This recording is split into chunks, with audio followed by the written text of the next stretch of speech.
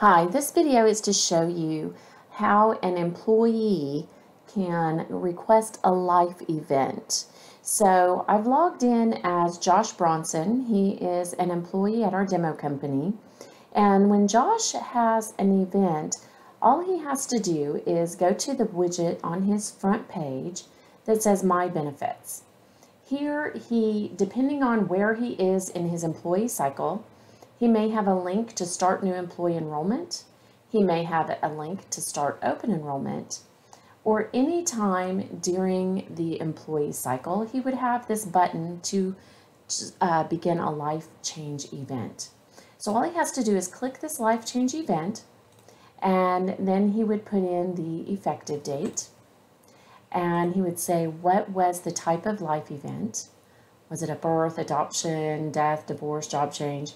And this would be based on your life change events in your system. So we're going to say uh, birth of a child, we'll say save, and then it takes him through the benefit, you know, changing benefit enrollment or benefit enrollment options for all of the plans that can be affected by a life change event. In the demo company, Josh has the opportunity to look at his instructions.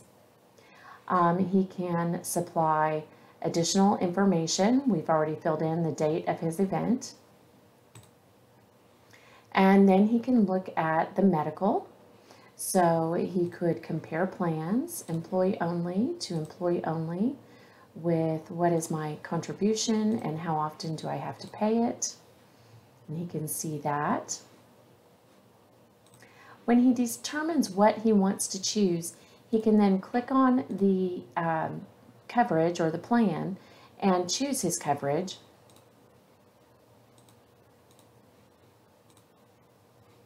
He would have the opportunity to add his uh, dependents if they've already been added to his contacts. He can select them from the list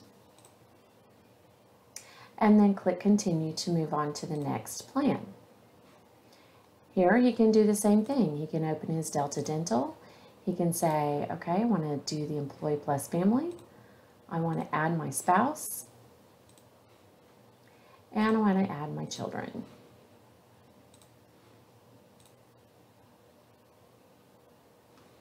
And then he would click continue. Here we can see that he's already involved in the Employee Voluntary Life Program. It tells us that by the passive enrollment and stating that the plan was previously elected. If he wanted to make changes, he would click on the plan itself, say OK, then choose the plan and select his units for his base life coverage.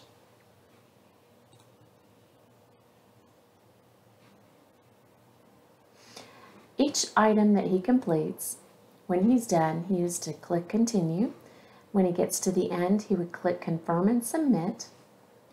If he wants to review the information, he can click the uh, PDF option and open up a report that shows what he is enrolled in uh, going forward based on this enrollment option. It even lists the people that he has uh, on the plan. I'm going to close that tab, takes us back here. And again, when he clicks submit, it will ask him to enter his password so that uh, he's uh, done an e-signature uh, stating the uh, acknowledgement of the terms of this.